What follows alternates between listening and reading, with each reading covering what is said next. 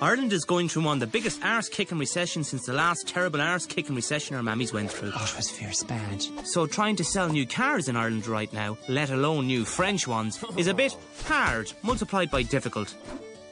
In fact, at the mere suggestion that you should buy a new car, someone was likely to either punch you in the face I'll bait you. or burn your house down, or both.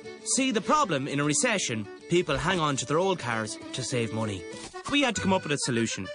We had to show that Renault have built some super economical new cars that are actually way cheaper to run than an older car. So we had to show that their old car is in fact not saving, but costing them money. We went digital. We built a really easy to use web application that took your reg number and your mileage, then you could calculate your running costs straight away. Not only that, it also showed you exactly how much you would save by switching to a brand new Renault. This was all fantastic, which was fantastic. But we had to get people to visit the site, so we did a bit of this.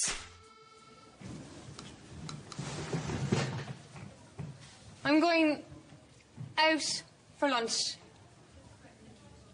Outside this building. Ryan, this is a babysitter. Okay. See you later.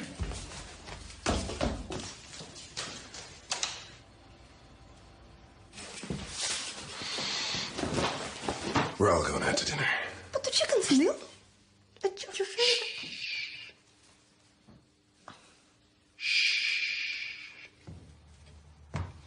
Morgan, turn on the heating.